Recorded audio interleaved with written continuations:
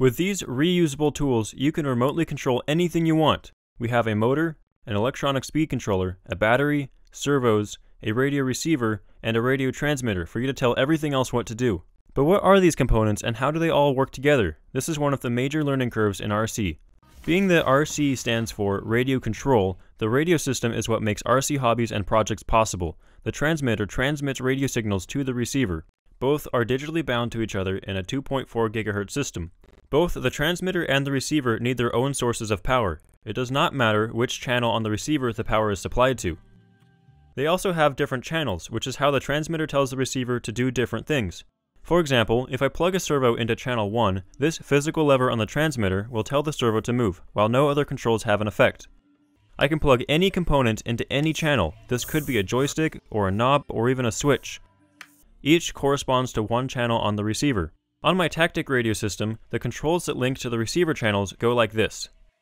Channel 1, 2, 3, 4, 5, and 6. The pins on the receiver are ground, power, and signal. They match up to the ground, power, and signal wires of a servo wire, which for whatever reason seems to come in two different color codes. If you plug something in the wrong way, it won't hurt anything, it just won't work. On most transmitters, each channel can be reversed, and the neutral point can be moved around with the trim buttons.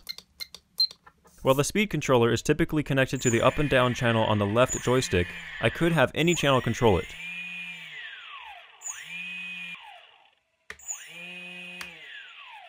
You could use the extra channels to say open a hatch or drop things, or you could even use it to control different things like this relay switch.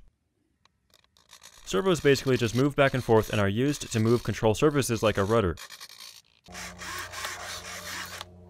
Or maybe steering on a car. The lever arm on top can be removed and put back on at a different angle. And that's actually all you need to control a glider or even an airplane with a gas engine.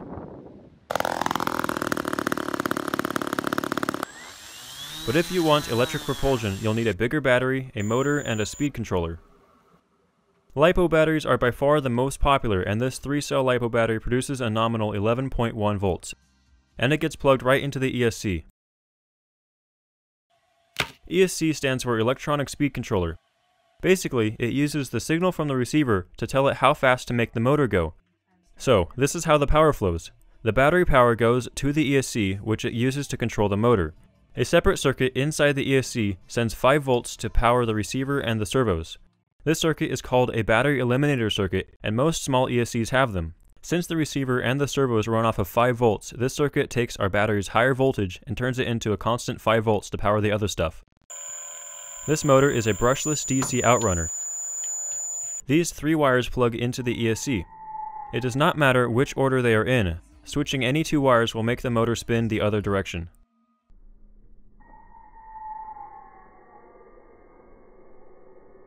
So there you have it, that's an overview on how all this stuff fits together. The best way to learn is to just play with it.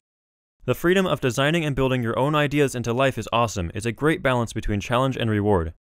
One of the first things I made when figuring this stuff out was a simple sled. I think a great first project to figure this stuff out would be one like that.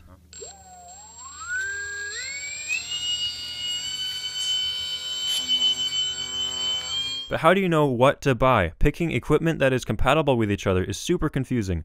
All the special terms and specifications is mind-boggling, and a lot of this stuff also doesn't come with a connector soldered on. So here's a link on screen and in the description on how to solder connectors. Also, here is how to choose a power system. And here are links to learn more about each component. I plan to eventually do my own video on each.